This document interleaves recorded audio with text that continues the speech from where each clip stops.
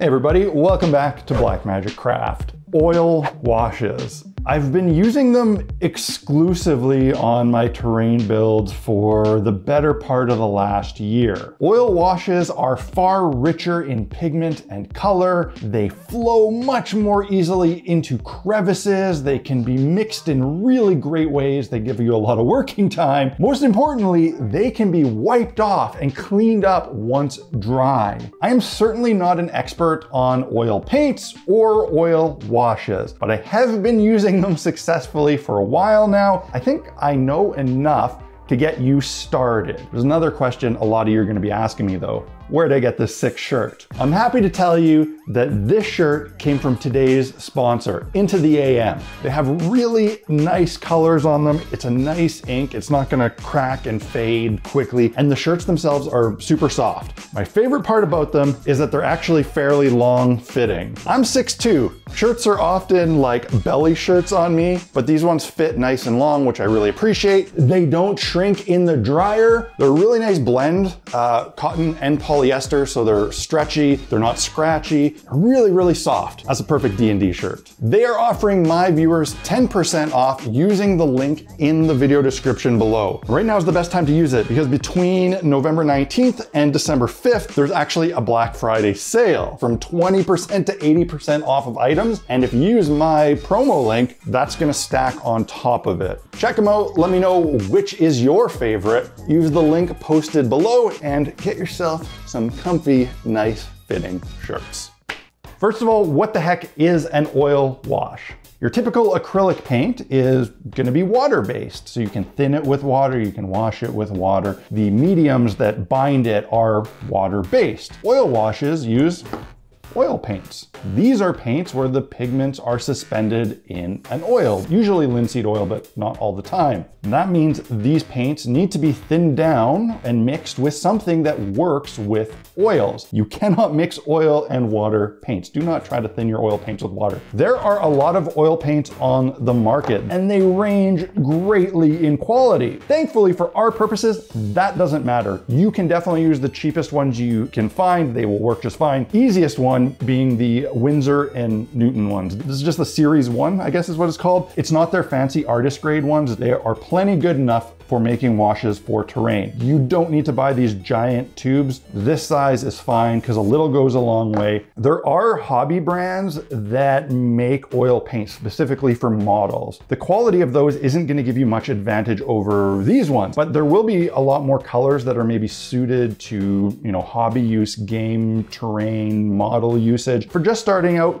this is all you need. The most confusing part about making these and using these, and it was for me, is the solvents. Traditionally, uh, a lot of artists use turpentine to thin oil paints. That stuff's pretty harsh. You just need to use some sort of paint thinner, mineral spirits, white spirits. This is really confusing because they're called different things in different countries. You can buy them at the hardware store. You can buy them at the art store. Hardware store might be cheaper, might not be labeled in an obvious way, and you might be getting something that's a lot stronger. So my advice, if you're just starting out and you don't know what the heck you're doing, do what I did. Go to your art supply store and just buy the paint thinner from the art supply store. It might not be the cheapest one, but you know it's gonna work. What is this brand? Mona Lisa? Lisa, but I buy this at Michael's. It works just fine. The smell is very minimal. Keep in mind though that just because it doesn't smell crazy bad doesn't mean it's not like harmful for you. Be cautious, use some ventilation. Again, there's hobby brands that make specialized thinners for making washes on models. They're gonna dry faster or slower or matte or gloss. Sure, if you once you get established with these and you wanna get freaky with them and get really specific, go for it. But for now, just one bottle of Art Store odorless thinners is all you need. The most important thing you need to know with these washes is that they work really well on top of acrylic paint or uh, acrylic ink. Basically anything acrylic, you can put oil washes on top. It's not gonna damage them. It's not gonna hurt them. You don't need to varnish them first it works wonderfully. On primer, mm, it might not flow as well just because primer has a little bit of tooth on it and it might grab it a bit more, but you can go right on top of spray primer. So I got a couple pieces here with some acrylic inks and some acrylic paint and some just primer exposed so we can see how to mix these up and how they react. Because these are oil-based, there's a lot of oil in the tubes. You don't need to mix these up or shake them or anything. The pigment stays really well suspended. It is helpful and it will make your washes dry a lot faster if you first put them onto some cardboard because that will leach some of the oil out. And you can let it sit on here for several minutes, an hour, whatever. For mixing, I just use disposable cups. Clear is nice because you can kind of see the consistency of your wash, uh, but they are a little, little large and wasteful. So I'll generally use these little paper dental cups. And when I'm preparing, I'll usually make a couple. And this way I can mix them as I apply them on the actual pieces. Now I'm putting on gloves here. You don't, you don't need gloves. This is not really like a dangerous material or anything. It can irritate your skin, Mostly I just find it easier to wear gloves than wash up. You're gonna wanna use your old cheap brushes, damaged brushes or just cheap ones because once they become oil brushes, they should stay oil brushes and it will destroy them. It's gonna eat away at the glue on the ferrules. Don't use your good brushes. And it helps considerably if you get yourself some pipettes. You wanna start with your thinner and the easiest way to get a controlled amount is with a pipette. So a good rule of thumb, the amount of wash you envision needing, start with that amount in thinner. So here I got, you know, half a pipette full. Gonna grab a brush and a little bit of black paint. Maybe that's even too much there. A little bit and mix it up. Now the thinner you mix this, the more it's gonna flow. But again, unlike an acrylic wash, if it goes on too heavy, that's okay because you can wipe it off. You can kind of see here when it gets to a consistency where it flows on the cup, but is still pretty pigmented, that's generally about right. And when I'm making a bunch of washes, I don't clean the brush too much in between. If I'm gonna go to something like a brown, just keep using the same brush, it's fine. For rust, you can take some really bright orange with the dirty brush. It's gonna tone it down a little bit. You can mix in some burnt umber, burnt sienna, raw sienna. Get some nice rusty colors. Let's uh, mix up some magenta here. Maybe add a little bit of purple to darken it up. And you can absolutely mix to your heart's desire, your colors in these. That's what's so great about it. It's a beautiful color. Now, applying them is really easy. These two here both just have white ink on them, faded out on all these. You can see some of the primer. This one has a gloss, well, satin varnish on top of it, which will make the washes flow a little bit more easily. Keep in mind, if you're using ink versus acrylic paint, inks tend to actually dry a little bit glossy anyway. Grab a brush, dip in your wash, and don't be afraid. You can see it just flows really nicely. And this is a pretty thick wash that I've made here.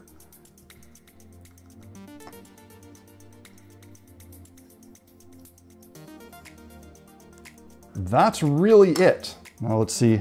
See, it flows a little bit more on this one where I've varnished it, kind of spreads. But look, here we can start mixing some colors, putting in some browns, some reds.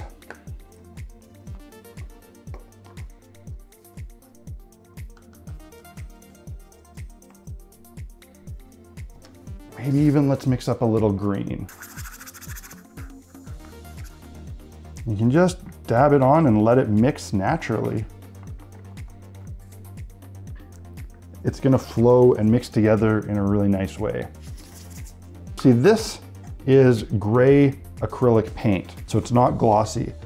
So it's not gonna flow quite as much. You're gonna see it's gonna sit on top a little bit more, but you know, it's still, still flows really, really well.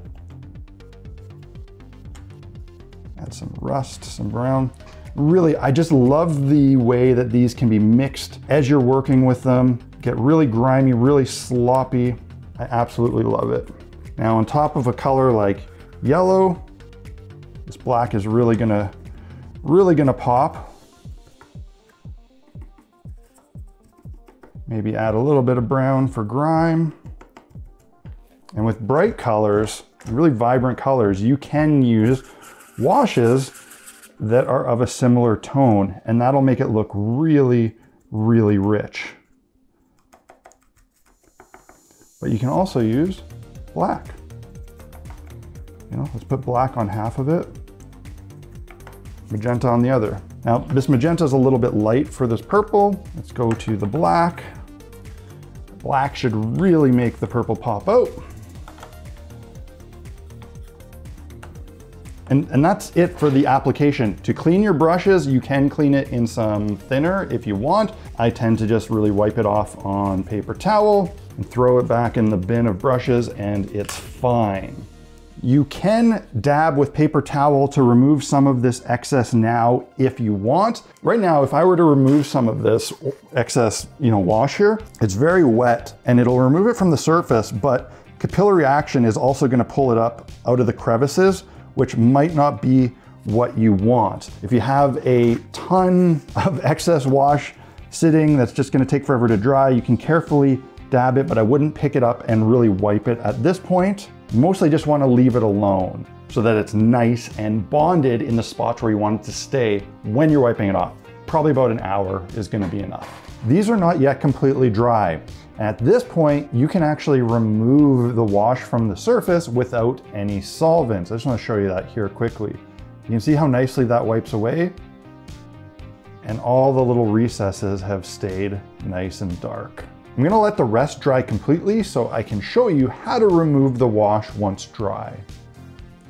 Okay, it is the next morning and the coffee has not completely kicked in yet. It's now time to do the fun part. Now I left this overnight to dry, not because I had to, but because I could. Certainly could have wiped these down much sooner. Again, this is the really brilliant thing about oil washes is that you can leave them for quite a long time, walk away, come back later and wipe them off. You can use stuff like paper towels or you know cotton swabs, Q-tips, that sort of thing. But I prefer uh, makeup sponges. Can use these triangle wedge ones for larger things and for smaller details, these little brushes are awesome. I buy these in bulk on Amazon. I'll put links to this and all the other stuff I can on Amazon so you can grab some. These I actually just buy from the dollar store. So cleaning is very simple. You just wanna take a little bit of your thinner, get some of that on your sponge, you don't want it to be soaking wet. Uh, you don't want it to be dripping because then it's gonna get into those creases and you know reactivate that wash and you don't want that. You just wanna be able to wipe away the top smooth surface. And look at that, brilliant. Completely removes it from the surface, leaving it in all the crevices. You know, I'm going for an extreme clean here. Get everything off, brilliant. Here we're on the acrylic paint uh, on half of this and just the spray primer on the other half. And it's coming off just fine. And like, that's it. Absolutely awesome. A little bit of this uh, solvent thinner goes a really long way. Oh, just gorgeous. Just gorgeous so satisfying. Definitely you wanna let this dry again, won't take very long. Oil-based paints are very strong. You're not gonna hurt it by handling it once it's fully dried up. That being said, you may want to put acrylics over top. A lot of people will say that you can get away with just going on top, and realistically, you probably can. If you want to be safe though, what you can do is lock all of this in with like uh, a matte varnish. Uh, an acrylic matte varnish is fine, and then you can proceed to other layers and steps. Although personally, I try to leave the oil wash as basically the last step in the process. Sometimes I clear coat it with a matte varnish if I want a more matte finish, but if it looks the way I want it to look, I'll, I'll just walk away from it. To dispose of leftover thinner or washes, I mean, one, you can kind of just like let stuff dry in the cup and then nothing really to worry about. Uh, but if you have a whole bunch, if you've been cleaning brushes, you poured too much out, I just pour it in an old container,